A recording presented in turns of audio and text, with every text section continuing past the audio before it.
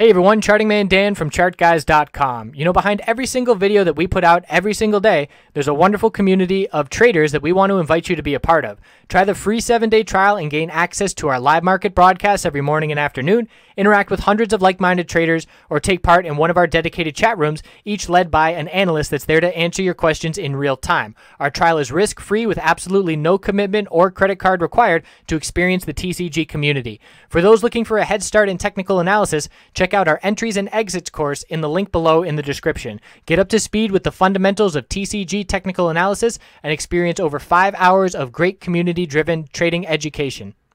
Hey guys, it's James the Chart Guys. It's Monday, May 8th. Going to do my nightly video on natural gas. Natural gas is now in this, this pattern of having this, uh, again, on the weekly, you have this low, we have this high, we have a, a higher low and a, and a, lower high. So it'd be in this tightening uh, range on the weekly here um, as we get some price discovery on natural gas for the longer term. As far as the daily goes, daily we had a, a nice green candle on on uh, Thursday, and then of course on that Friday we had a big dump out of nowhere.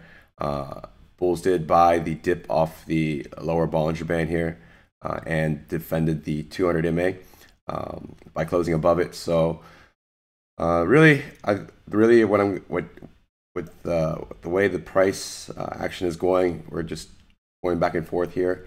Um, a bull break would now be by setting a higher high on the daily here at 3.313.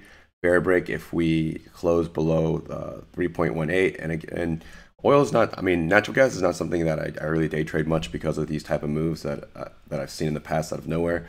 Um, I tend to like to swing them in a certain direction. So um, bulls do look like they're still in control as of now, as long as we hold the above uh, 3.125.